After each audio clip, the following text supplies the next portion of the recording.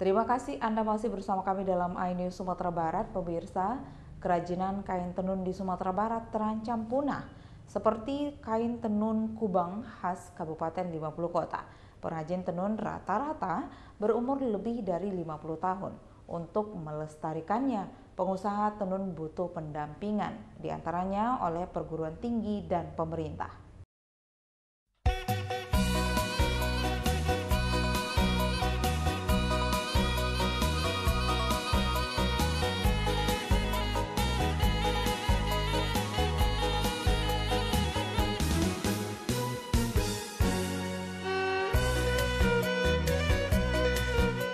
Siapa sangka busana-busana cantik dan anggun hasil karya perancang busana NC Riki dan Paul Mahmud Zamiel ini berbahan dasar kain tenunan asal Kabupaten 50 Kota. Kain tenun yang dipakai para model ini adalah tenun kubang dari Kecamatan Gugur. Dari hasil survei dan penelitian oleh sejumlah dosen manajemen Universitas Andalas, tenun khas Kubang terancam punah. Padahal corak, motif, dan kualitas tenun Kubang tersebut untuk pasar saat ini sangat menjanjikan.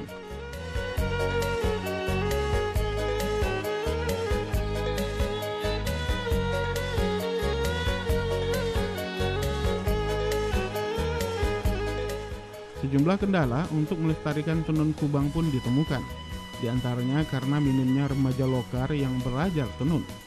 Hal tersebut diungkapkan oleh Yulia Rahmi, pengusaha tenun tradisional Kubang di Kenegarian Kubang, Kecamatan Gugu, Kabupaten 50 Kota. Menurut Rahmi, jumlah pengrajin yang menekuni usaha tenun saat ini sangatlah minim, apalagi para perajin yang rata-rata sudah berusia lanjut dan nyaris tidak ada regenerasi. Rahmi menuturkan kondisi saat ini jauh berbeda dengan puluhan tahun silam. Pada tahun 1930-an, tenun kubang berkembang pesat dengan mempergunakan alat tenun bukan mesin yang terbuat dari kayu. Usaha ini terus meroket dengan puncak kejayaan pada tahun 1961 hingga 1967.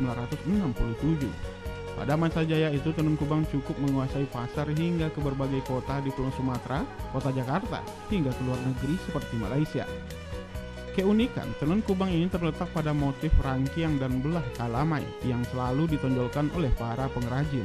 Belakangan, berbagai motif klasik lain seperti kaluk paku, motif itik pulang patang, dan motif khas Minangkabau lainnya mulai diaplikasikan ke tenun kubang.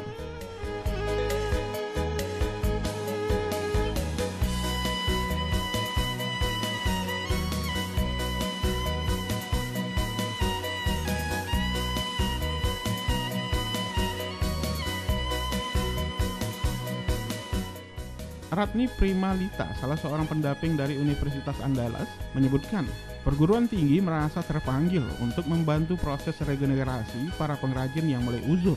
Kesulitan ini perlu didukung oleh seluruh pihak, apalagi peluang pasar kain tenun yang saat ini cukup tinggi, dibuktikan dengan setiap produksi tenun yang dihasilkan selalu laku di pasaran. Selain bantuan pendanaan, para pengguna tenun kubang juga dibantu dengan memberikan pelatihan pada remaja dan ibu rumah tangga yang berminat. Pengrajin juga dilatih mengelola keuangan berbasis digital. Pengusaha diarahkan membuat basis data pelanggan dan mengembangkan desain model-model terbaru. Saat ini sebanyak 60 remaja dan ibu rumah tangga dilatih menenun dasar selama satu bulan.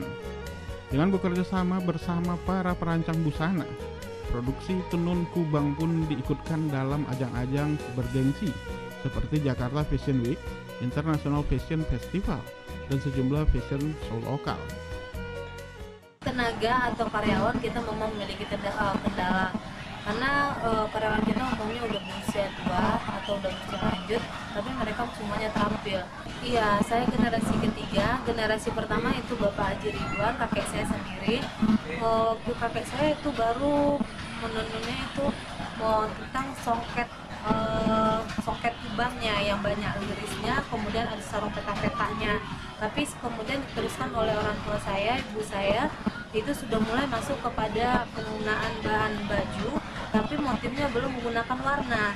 Nah kemudian saya mengembangkan itu menjadi satu uh, motif yang berwarna sehingga jadi seperti sekarang ini. Dan kita kembangkan lagi karena ada bantuan-bantuan dari pihak-pihak luar seperti adanya bantuan dari UNAN, kemudian bantuan dari Pemda, kemudian bantuan dari Dinas Provinsi Provinsi.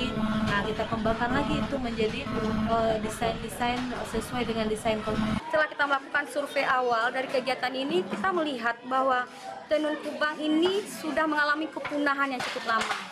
Ya, eh, bagaimana upaya kita dari perguruan tinggi untuk mengatasi persoalan ini?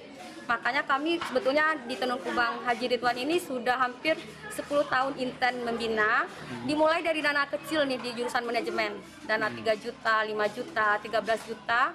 Sampai pada tahun 2016 kita sudah mendapatkan dana dari Kemenristek Dikti yaitu keliat, uh, untuk kegiatan pengabdian masyarakat.